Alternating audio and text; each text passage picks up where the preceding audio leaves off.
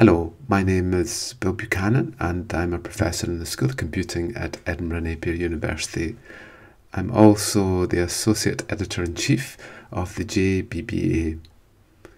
So, why do I do blockchain?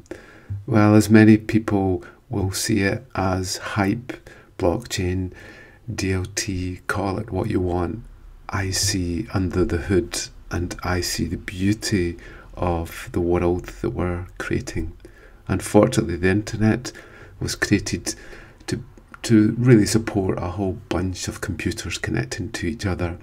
They had no concept of citizens eventually uh, connecting to it and building communities.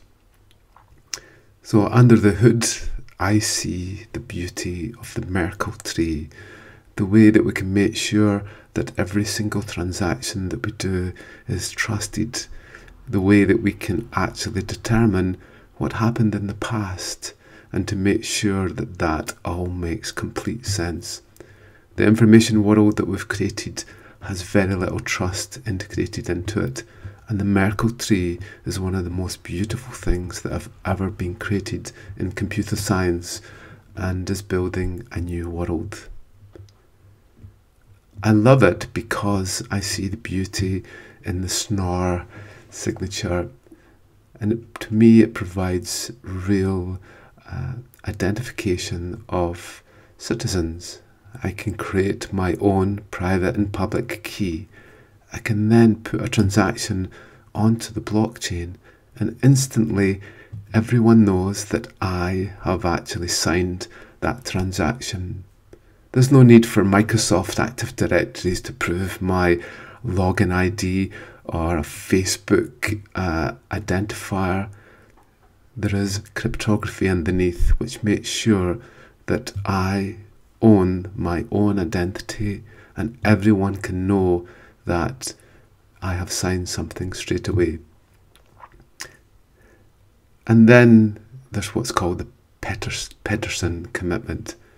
In this way, we can blind things. We can make commitments to knowing things, and then at some time in the future, we can actually reveal them. So, the work that's going on in the anonymization of the blockchain layer really is a new world being created.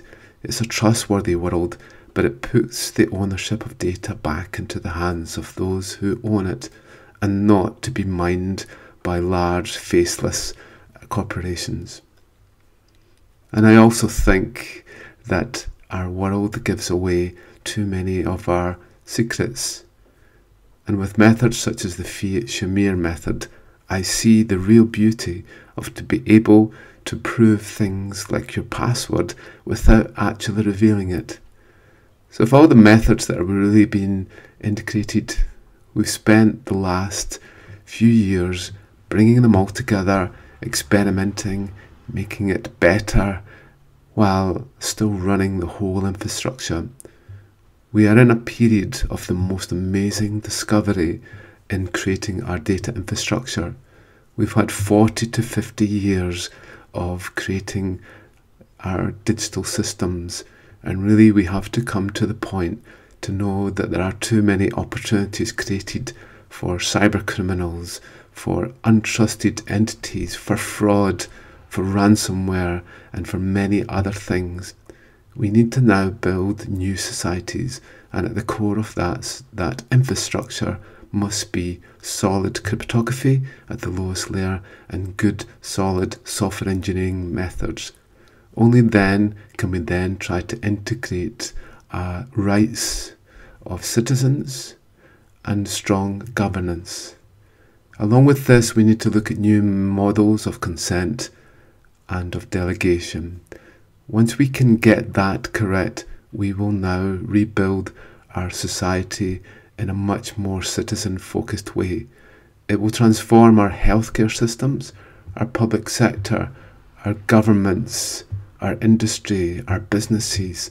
Things will happen much easier and things will flow better but most of all, things will become more trustworthy. Our challenge in the next few years is to bridge the gap between digital trust and human trust. When we do that, we will have a new world, and the citizen will be at the core of that world. Thank you.